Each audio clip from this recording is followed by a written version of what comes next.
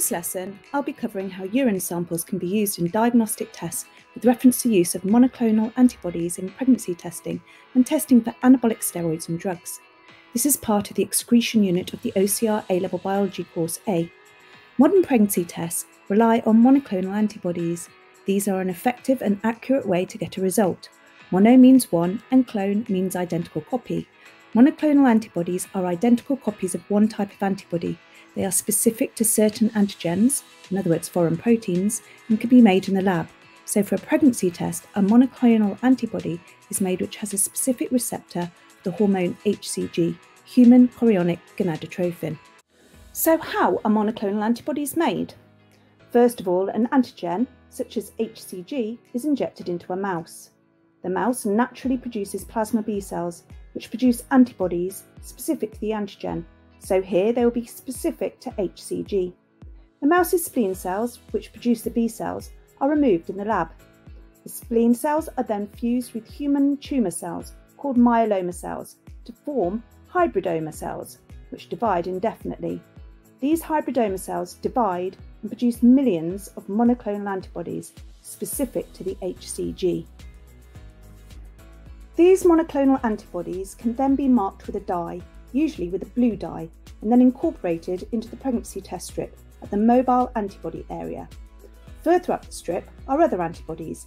In the test strip, there are more HCG antibodies, but these are not mobile. They are attached to the test area, so they cannot move. Then there are more monoclonal antibodies at the check strip.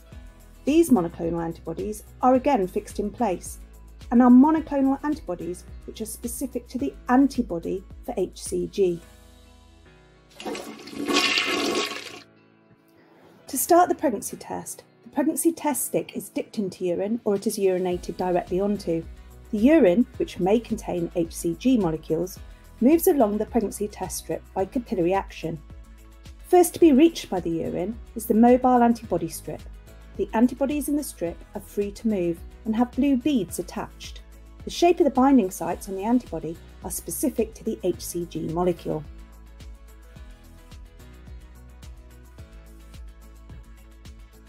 HCG molecules in the urine therefore bind to some of the mobile antibodies, forming an HCG antibody complex.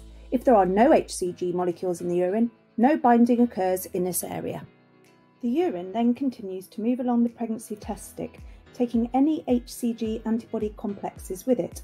It also carries the free moving blue marked antibodies which have not attached to HCG. Next, the urine comes across the test strip. Here there are immobile HCG antibodies.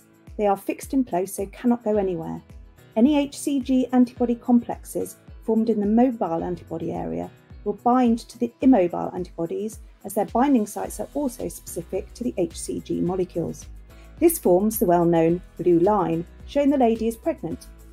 If there were no HCG molecules in the urine, no HCG antibody complexes have been formed and there is no binding here.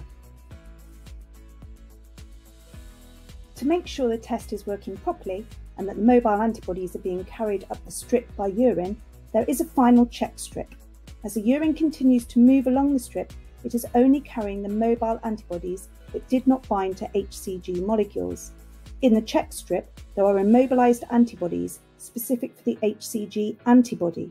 When the mobile HCG antibodies reach the check strip, they bind to these immobilized antibodies, giving that strip a blue colour also.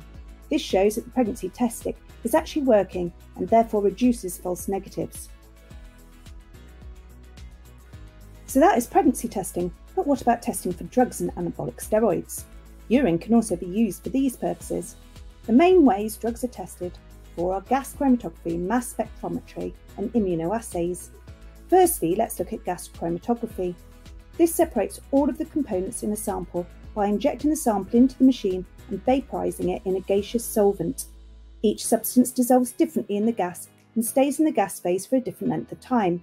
This period is called the retention time and is unique and specific to each substance, helping to differentiate and identify each component.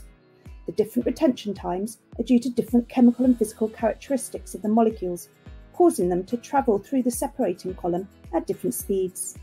Each component of the sample is absorbed as it comes out of the gas phase and is analysed by a detector, which then provides an image or a chromatogram.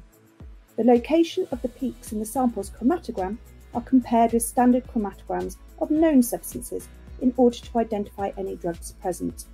The size of the peaks is proportional to the quantity of the substance in the sample being analysed. In mass spectrometry, it identifies substances by electrically charging the sample molecules with an electron beam, then accelerating the ions and passing them through a magnetic field. This blows apart the molecules into charged fragments. The magnet deflects the ions as they pass through it, with the smallest ions being deflected the most. A spectral plot displays the mass of each fragment, which is unique to that substance and can be identified against plots for known substances. These fragment masses are used to determine the mass of the original molecule and hence its quantity. Immunoassays are another way that monoclonal antibodies are used. They are quick and accurate tests that can be carried out on the spot to detect specific molecules.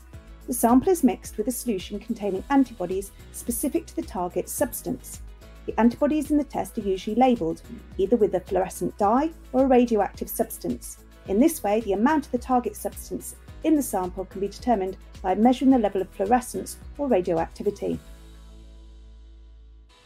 So there we have it, how urine samples can be used in diagnostic tests, looking at the use of monoclonal antibodies in pregnancy testing and testing for anabolic steroids and drugs. Hopefully you found it useful. If you did, why not click like and also subscribe to my channel where you'll find an ever expanding set of videos on biology.